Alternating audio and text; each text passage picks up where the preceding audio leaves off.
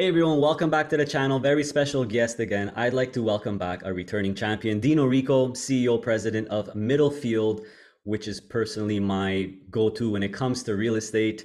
Uh, you guys are real estate experts, and I'm excited to talk to you about real estate because there's actually a lot of opportunity right now. Dean, how are you? Welcome back to the channel. I'm great. Thanks, Adriano. Thanks for having us back. Yeah, I mean, we're living in some tough times in the real estate market, right? In Canada, you see a lot of stuff going on with interest rates, and people are talking about bubbles and this and that. But today, we're really going to focus more on REITs because, like we'll discuss later on, investing in REITs is kind of different than physical, like buying houses and physical property in Canada. There's actually some pretty good uh, advantages. So let's just start with a market, a real estate market update. What's going on the real estate market, especially in Canada uh, currently? What's the current market backdrop, if you will? Sure. Um, this has clearly been a market, as you said, that has actually, you know, really not done anything this year. I think the the REIT market in Canada is basically flat. When I look at the S&P 500, it's up 16, 17% year to date. Yeah. And TSX is up, you know, closer to about 5 or 6%. So this market has lagged and there's a few reasons for that. One, we came into 2023 thinking that the Bank of Canada and the Federal Reserve in the US were done raising interest rates. And In particular, we thought the Bank of Canada was. We knew there were a few more to go in the US. So as a result, you saw some really good performance in January by the Canadian REITs because we thought we had the all clear on the interest rate hikes. Well, that didn't turn out to be the case. And what we've seen is at least another couple of increases by the Bank of Canada since then. And then you also had the banking crisis in the US and anytime mentioned the anyone um, who mentions the regional banking crisis in the U.S., almost in the same sentence, they talked about the impact that's going to have on commercial real estate. So that created some additional negative sentiment. And we're here today, fast forward to September, where we think number one, that interest rate hiking risk is now basically behind us. We saw the Bank of Canada basically uh, choose not to raise last week. Yeah.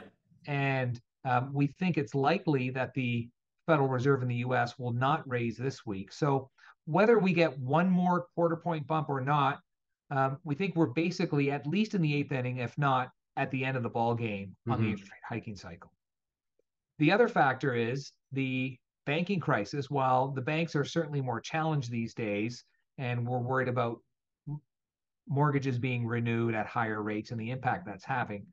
By and large, the banking crisis was really confined to the regional banks in the US and only a handful of regional banks.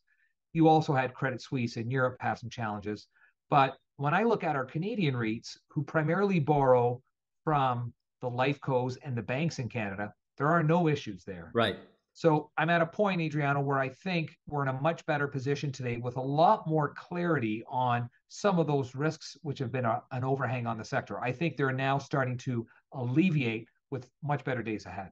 How, how sensitive is the real estate? I know it is, but can you tell me the correlation between interest rates and real estate? Is it is it literally as simple as if interest rates go up hard and fast and quickly, that automatically puts pressure on real estate prices and REIT prices? Is it just as simple as that, Dean?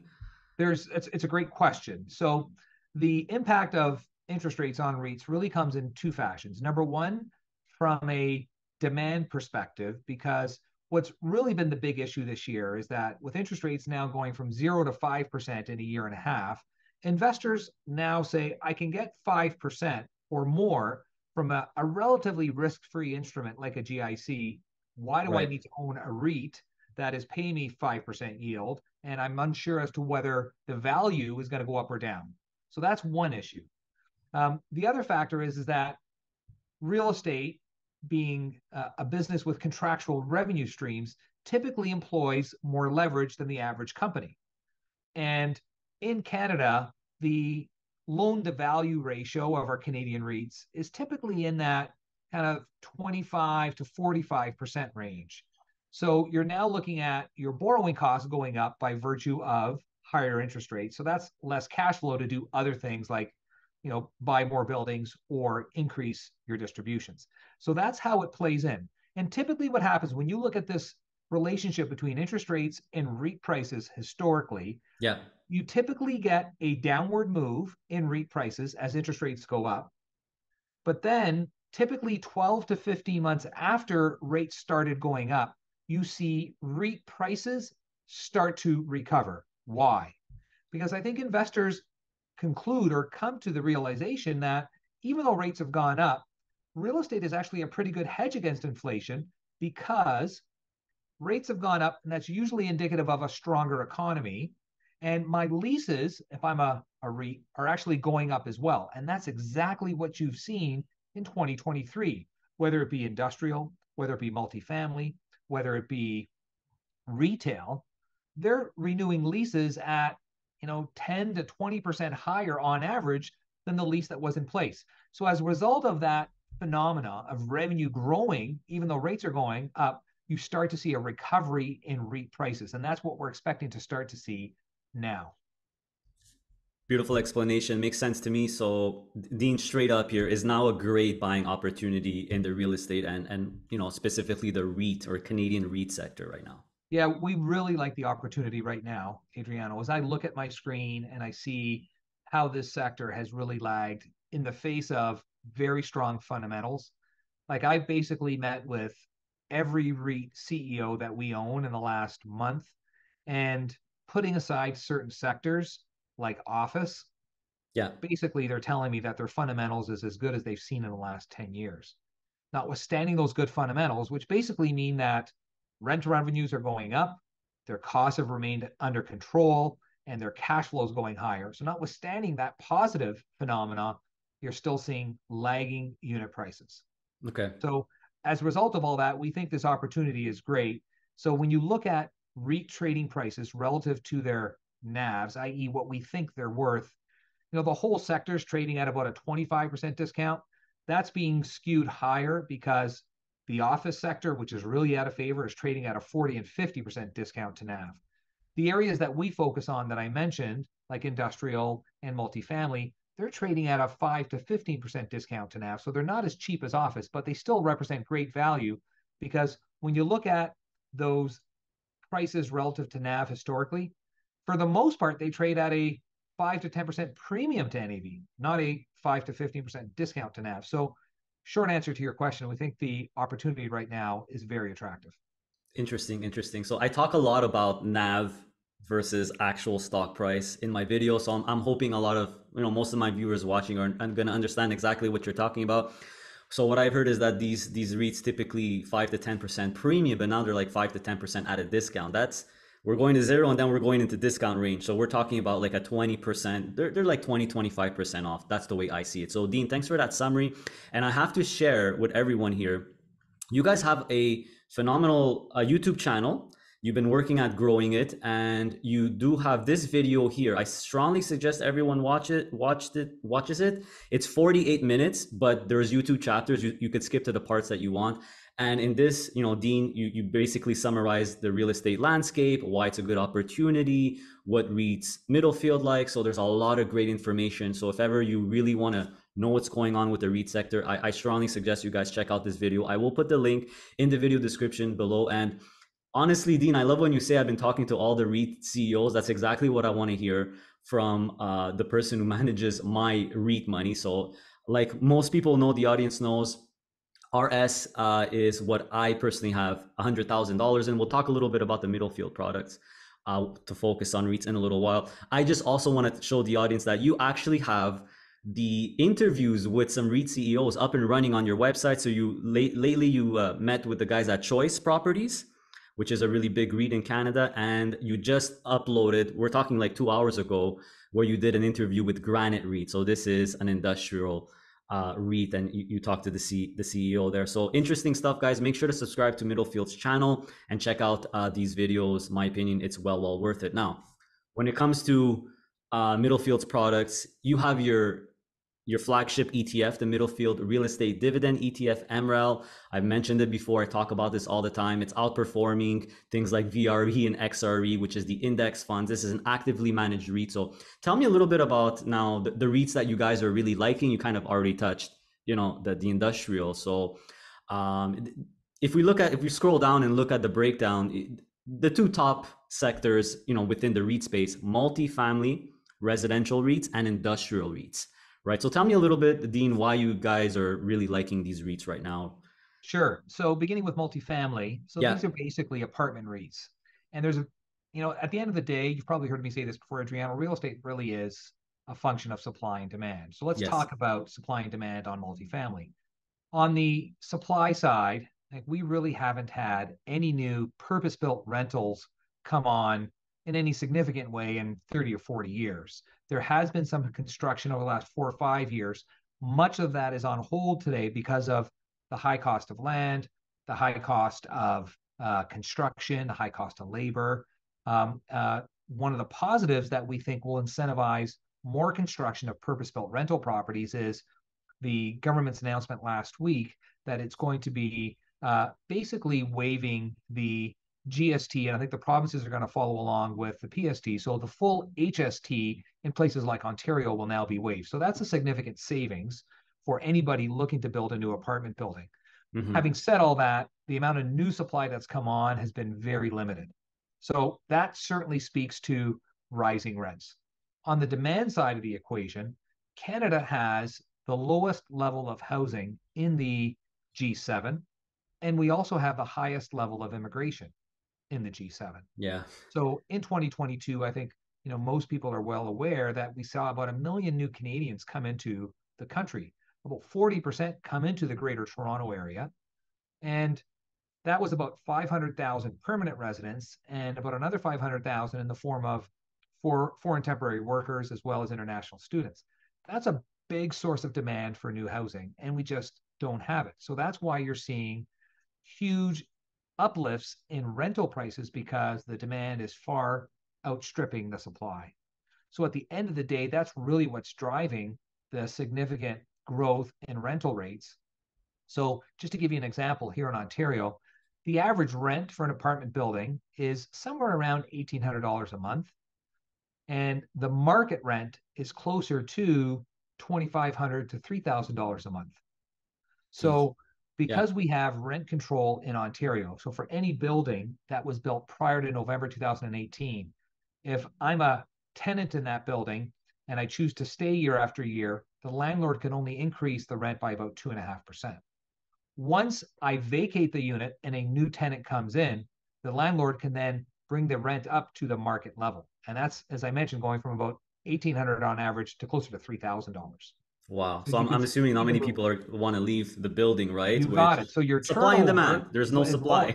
That's exactly right. Your I mean, it makes perfect is a lot sense. lower. People mm-hmm. are choosing to stay in those units if they can. Now there are yeah. some reasons why you have to leave. Having a family, you need more space. You go out and you know you get a home, but generally that's what's happening there. So that's why we think the the factors behind that are good.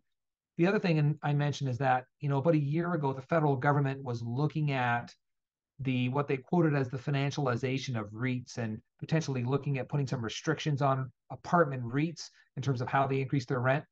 Fortunately, really over the last two weeks, as I've learned from all these CEO meetings I've had, is that the federal government is no longer focused on that. They realize this is a a, a market where we need more supply, and they're trying to incentivize more supply by waiving things like the GST, which got announced last week. So we think that makes everybody feel better about the sector. Okay, so we're talking about residential here. So some of the names that you know that are in your funds, your Boardwalk REIT, Canadian Apartment Properties REIT, Killam Apartment REIT, and you know I've been blown away because I, I actually you know I didn't really do any much research on the individual REITs. I trust you guys with that, but you know these are REITs that have hundreds, if not thousands, of apartments all over Canada. There's no small fries here. These are big cap REITs that you really you believe in. So you think these REITs are really going to be benefiting benefiting right now with with these increases and, and all that going forward? Yeah, I'd say almost across the board, our Canadian apartment REITs are really doing great. Um, you know, Boardwalk, which is in Alberta, which doesn't have rent controls, not surprisingly, you know, that stock is up over 40% year to date. Uh, CAPREIT, which is really the largest REIT, basically is, you know, effectively coast to coast. It's up by about 16% year to date. But, you know, there are companies like like Minto and uh, InterRent, which are basically fat, flat. They're up zero to five percent. We think there's tremendous value in some of those companies because they're benefiting from the same things that's occurring at CAPREIT as well as Boardwalk. So we think there's excellent value in this space right now. Okay, perfect. It, it, it's not rocket science, right? I mean, it makes sense to me. What about the industrial? This is this is where I'm I'm, I'm not as familiar as the, the logistical side of these. So you guys, you know, it's a second, you know, 20% of your ETF is in industrial REITs. Of course, we're talking about things like Granite and Dream. Those two are always in the top. Uh, so tell me a little bit about the industrial REITs, why these ones are considered, why you like them, why Middlefield likes them in particular, and, and the potential that they could have. So, like the apartment REITs, we think they're trading at a significant discount to their NAV. And we think by and large, the NAV is properly reflecting the true value of their assets. And that's important to understand. When these things are trading at a discount premium, you always have to take a deeper look and say, okay, is that NAV really properly reflecting the, the value of those assets? And in the industrials, we believe that to be the case. And again, supply and demand we know that while there is some supply coming on in the GTA, it's more than being absorbed. The GTA, in fact, is the second largest industrial real estate market in North America. Only Chicago's bigger. So this is a very big market, and um, land's expensive, construction costs are expensive. So it's it's difficult to add new supply.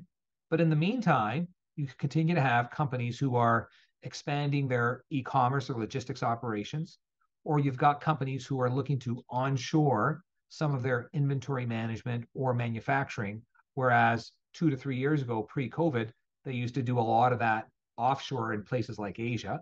They're now bringing it back. So there's more demand for industrial properties.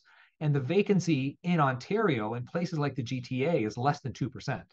So any new building that comes on, it's being basically let at very attractive rates. So there's a there's a real positive balance between supply and demand. The area where rental growth is slowing is in the US. In the US, you've had some real increases in supply in various markets. So Granite, for example, has got four properties in the US that are just coming on being completed. And two years ago, those properties would have been let at very attractive rates and relatively quickly. But because there's now more competition for space, um, they're taking a little bit longer to let out, but at the end of the day, they're going to get done at very attractive levels. So rent growth is growing. It's growing at a slower pace than what we saw mm-hmm. two years ago or even a year ago, but still at very healthy levels. And when I look at the valuations of these industrial REITs, we still think they represent excellent value in light of that growth in demand and um, overall slow levels of growth in supply. Yeah, and one thing I noticed right off the bat of your ETF and your your, your real estate split fund is that they're it's mostly uh, concentrated in Canada. I mean, the ETF is seventy five percent Canada, only twenty two percent the US. The uh, the the split fund's even higher in Canada. So um, you're watching you guys are watching real estate across not just in canada but also in the us and you have some us reits in there as well so um, very interesting. I mean, it's not rocket science. It's the supply and demand. When you think real estate, I always think supply and demand, and uh, it's quite obvious that we don't have enough supply. The demand is high and it's growing, both industrial and residential. So that just increases the prices. But now is actually a great opportunity because of the quick interest rate hikes. Now is actually a great time to get in. And once again, to my audience, check out that video where you go through all all the stats and go through the deck and the presentation. I think it was really really good. Now, Dean. I have an important question to ask you. Like, this is a question I get all the time. As you know, my channel is all about income oriented investing. The bread and butter is covered calls. Everyone keeps asking me, can you please tell X manager, uh, especially Middlefield, because they we know you're a real estate expert. Can you please do a covered call REIT ETF? We discussed this beforehand. Tell me why. Uh, what's your thoughts on that? Straight up. Sure. So we know REITs are basically cash generation vehicles. Um, in my opinion, there's no better uh, company in the market than a REIT that does pays regular and growing levels of distribution, just the nature of their business. So, you know, can we supplement that dividend or distribution out of REIT by writing calls on it? And in the Canadian market, unlike the US, REITs are very um, they're they're just less liquid. And as a result, there aren't developed markets in the options market where you can write calls on these. So it becomes uh-huh. a real challenge. Okay. So it's not like, you know, high growth technology stocks or big healthcare businesses. that you know have significant amounts of daily trading liquidity that options traders can make markets in those. It's much, much different in REITs and in particular in the Canadian REITs. Having said all that, you know, where I do have some exposure in US REITs. So for example, in MREL, my ETF, I actually do have data center REITs and I've got cell tower REITs. And those yeah. areas are actually more liquid because they are US listed REITs where you've got greater liquidity. There's more trading volume and you've got more developed option markets there. So it's in those areas where if I chose, I could start writing some options. Now, having said all of that, as you've just heard me describe in the last 10 minutes, we think there is some real value within the REITs today. In other words, if I wrote a call, I'd basically be trading off the potential upside potential in return for income today. And because that upside potential, I believe, is so significant, I am hesitant to write calls, even on the US REITs where I'd have the ability to do so. Makes complete sense to me. That that's what I thought. You know, I, it's not the first time I hear that there's much less of an options market on on, on Canadian stocks.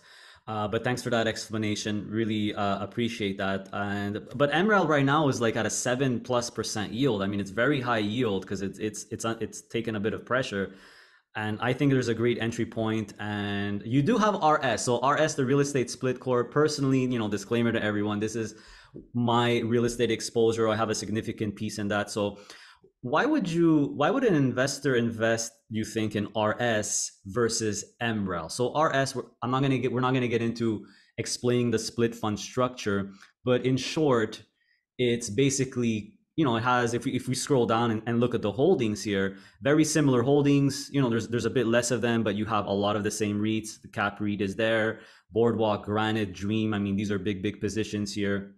91 per 92% in Canada, the rest in, in the US. So this is much higher yield. This is almost, I think, 11% yield right now, which is absolutely incredible. I've been personally snatching some up, some, some shares. So, um, why would someone invest in RS versus MREL? Do you what would you say? Sure. So um, as you as, as you alluded, Adriano, the the RS structure is different than MREL. MREL is basically quite simply just a portfolio of REITs. Yeah. Whereas in RS, uh, we own these REITs that you see here on the screen. Yeah. But because of the structure with the preferred share ranking senior to yeah. the Class A share. So when you say you're buying RS, you know, you could say I'm either buying the preferred shares or the Class A. Personally, I own a lot of the Class A, and I think that's what you're doing as well. Yeah, I'm talking about the Class A, just to be clear. Yeah. And that's where you're getting that 11% yield. Yes. And you're getting a higher yield there because you're actually got this embedded leverage within the structure, whereas the preferred shares yield closer to 5%. So I can actually borrow money at five and then create this leverage where I have more cash left over to actually pay out to the Class A shares. So the Class A shares actually uh, pay a higher yield. Having said all that, they carry more risk. Yeah. Well, unlike a unit in MREL, which doesn't have any leverage, leverage. structure outside of the leverage that within the individual REITs, um, here you actually have leverage in the structure in RS, which then makes those Class A shares more volatile. Yes. When you have movement in the underlying portfolio. So, in a sense, you're receiving a higher yield to at least partly compensate you for this additional risk you're taking on by virtue of the structure in this split offering. Yeah, when you say risk, it's not it, it's the same stocks, right? It's not that it's more risk there. They're more riskier REITs. That's not what we're talking about. No. I like personally to use the word volatility instead of risk, more sure. volatility because there's more leverage so you'll have more price swings on the downside and on the upside and just to be clear you're you're still not writing covered calls because split share funds are synonymous with you know very popular that people are writing covered calls on. You are still, correct me if I'm wrong here, Dean, not writing any covered calls on RS yet or on any of the REITs, but you do have the ability to do so. That that is correct. Okay. And it's it's a good distinction. There is more volatility by virtue of the structure. Yes. In this split share offering, where in a liquidation scenario, all the cash first goes to pay off the pref, and then whatever's left over goes to pay the equity or the class A share. So that that creates this different structure which carries more volatility for your class A investors versus your MREL investors. Yeah, and another thing, you know, for my audience to make sure you check out is the net asset value of RS. So what happens is there's the stock price, which is I always say is what people think it's worth, and then there's a net asset value of the Class A shares, with which is the intrinsic value of the Class A share. So right now it is trading at a premium, but the premium is not that big. I think it's under 15% here, which means yep. you got to pay a little bit more than than what it's actually worth. But I, a question for you, I have to ask, and I, it's hard for me to get a, a straight answer from other split fund managers, either because maybe it's impossible to find what would you say how do you figure out what the actual leverage is in terms of percentage in a split fund because it's not like a you know a covered call ETF with 25% leverage. It's synthetic leverage, it's embedded. And also a great thing about this type of leverage is when interest rates go up, it doesn't impact the leverage of a split share, right? I've heard that from split share funds. So they're they're fixed interest rates on the pref, correct? Uh, from the pref, right? You're borrowing from the pref, exactly. So the pref, which resets every five years, right? Correct me if I'm correct. wrong. So okay, makes sense. So what would you say is the approximate, if even possible, leverage ratio of the Class A shares right now? It's at 12, and then the not, the, the the the preferreds are at 10. Is yeah, there some so, way we could calculate that? Yeah, the, the way to calculate it is that you actually just look to the actual structure itself and you say, what is the amount of pref shares that are actually outstanding? Okay. you say, you know, what what is that amount? And um, I'm just looking to see if I've got it here. I don't have it handy, Adriano. Then what you do is you say, okay, if I'll give you an example. If there's $40 million of pref shares outstanding, mm-hmm. total value of the portfolio is 100 million. That basically means that the amount of leverage within the structure is 40%. Okay. Okay. So what you do is you you look at um, the the actual structure itself and say, okay, how many? Um, what is the value of the um, uh, the pref shares outstanding? Um, and then you say, okay, based on that, so in, in our example, currently we have about you know $60 million in pref shares outstanding, and then you've got about $75 million in class A shares outstanding. Okay. So the way you would do the math is that you took your you take your your 60 and your 75, roughly equal to 135 million. Mm-hmm. You do your 60 over 135, and you say that is the leverage in the structure. So about 44%. Roughly, correct. Okay. Well, Dean, I learned I learned something important today. I, I want to thank you. It, it's hard to to figure out the leverage, but it's more than as I thought, uh, and you could kind of tell with the, the stock price stock price movements. It's more than twenty five percent. I always I always tell people it's probably near fifty percent. So RS forty four, but then you you know we don't want to get into it now, but there's other split share funds where it could be much much much higher. So that's correct. So basically, it's kind of like a lever. You're taking, you really are bullish on the real estate recovery on these REITs, and of course, you're taking higher risk and higher volatility, but you could get higher reward, right? That that's just a story of life. So you personally, that's what I like. But if you don't, if you're not comfortable with the structure or the leverage, a synthetic leverage, you could just get the MREL, which in my opinion is the number one REIT ETF in Canada. I mean, performance wise, it pretty much is. Um, and you know, you guys do a great job. You're, you're real estate expert. So, Dean, I want to thank you again for for coming on the channel. It's always good. I mean, you guys are my go-to for real estate, and uh, I I see it as a big opportunity. I've been loading up personally on RS shares. So thanks again for uh, thanks again for coming on. And to my audience, make sure you check out those YouTube videos. They have a great channel. Subscribe to Middlefield if you want to really stay keep in touch with what's going on in the real estate and the REIT sector. And Dean, maybe one more question before I leave you. A lot of people they're kind of hesitant to invest in REITs. They still, you know, because it's the stock market, they they rather buy a house. What would you tell them? What are the big advantages to just buying REITs? I could come up with a million in my head right off the bat, buying REITs instead of actually physically buying buildings and apartment buildings and things like that. Great question. And I get asked those questions all the time as well. Sure. And number one is liquidity. So if I'm going to go out and buy a rental property, whether it be a home or a commercial building, and for whatever reason I want to liquidate, I just can't turn around and do it that day. Whereas with a REIT, I can do that immediately. You hit sell and that's it. that's it. It's very, very, very um, simple to do um, on the market. Number two is that there's full transparency, and these are regulated markets. So these management teams of the REITs, they just can't go out and do whatever they want with these assets. They are highly regulated yeah. uh, by the securities commissions, and institutional investors like me keep these management teams honest. We basically meet with them at least quarterly and we give them our ongoing feedback as to how they should be running their business, the types of things we want to see in terms of how their businesses are operated. And that's another check and balance on how they're functioning. then there's you know very uh, significant tax advantages on REIT distributions. Um, so uh, REITs also have the ability to diversify um, outside of a specific area. Whereas if I want to make a direct investment in real estate, basically I use my capital and buy a little shopping plaza or I buy a condo unit to rent out. Well, I can take the same amount of money and invest in uh, a portfolio like Middlefields and say I'm now getting access to not only apartment rental or retail plazas, I got access to senior living. I've got access to data center REITs in the US. So I can get that diversification, which I couldn't do on my own by investing directly in real estate. Yeah. Yeah, diversification within the real estate sector. You know, I get I get that all the time because, you know, we sold our condo a while ago, invested all in the stock market and I, hear some pretty, you know, after a while, you it, it's kind of weird. It's quite bizarre. And like, don't you feel like you want to own your own house? Like, is don't you feel like uh, it's risky not owning your house? I, I feel the it's risky owning one house. Why not own all types of real estate properties all over Canada, all over yep. the world?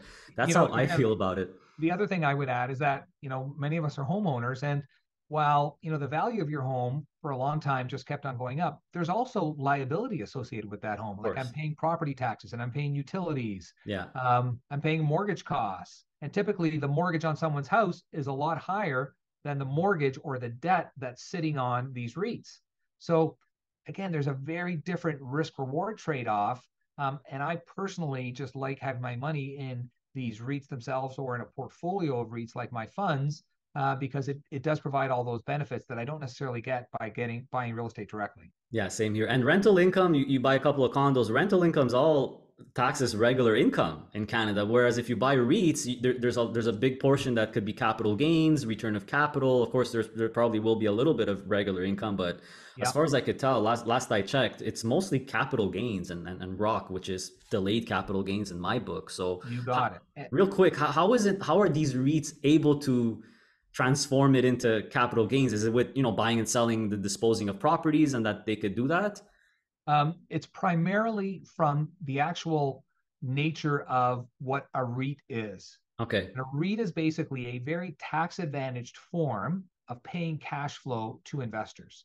So, put differently, when I structure my real estate holdings into a REIT, as long as I pay out 90% or more of the earnings, I don't pay tax at the REIT level. Just the investor who receives the distribution or the earnings pays the tax.